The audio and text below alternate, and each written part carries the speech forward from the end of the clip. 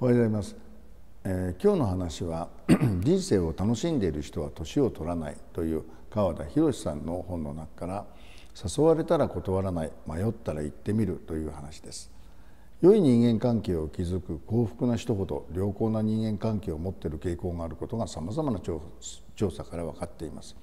幸福度の高い人たちはお互いに親密と感じている友人や恋人家族がいてそれらの人々と過ごす時間が長い傾向があります。さらに幸福度を左右するさまざまな因子の中で他者との社会的関係性が幸福度に関わる最も重要な因子であるとする研究結果がいくつもあるのです。そしてそれは 特に友人との関係性が幸福度に大きく関係しています。友人の数が多いほど幸福度も高い傾向にありますがやはり数よりは質で一番の親友との関係性が幸福度に最も大きな影響を与えます、まあ、一方で他者との関わりを避けて一人で過ごすことの多い人は身体機能が早く低下していくことも分かっています。ですので寝たきりを予防するという観点からもなるべく良い人間関係を築いておくことが大切です。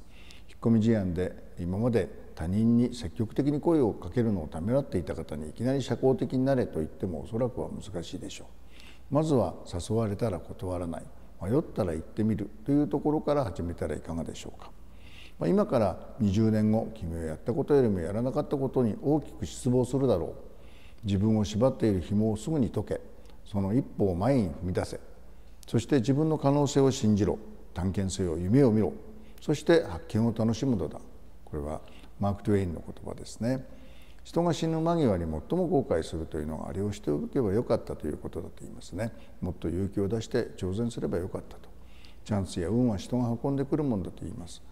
誘われるということは新たな出会いやチャンスに巡り合えるということ。それは例えば講演会であったり食事会イベント旅本人人を紹介するというようなことですね。一般的に年を重ねると若い頃よりも行動量は確実に減ってきます。それを補うのは誘われることです。だから年を重ねれば重ねるほど自分より若い人たちと友達になって誘われるようになることが大事になってきます。しかし自分が誰かを誘うことを考えてみると分かりますが誘いたい人というのは意外に少ないものです。特に今日来てというような直前の誘いはさらに難しくなります。あの人はなんとなく誘いにくいという人は最近会ってないし連絡もしてない。前に何回か断られたことがある。興味がなさそう。そして誘っても喜ばない嫌がられそう。等々の人ですね。結局誘ったら喜んでくれるような人に連絡をみんなします。行動量の差が人生において最も大きく差をつけると言います。じゃあ今日これで終わります。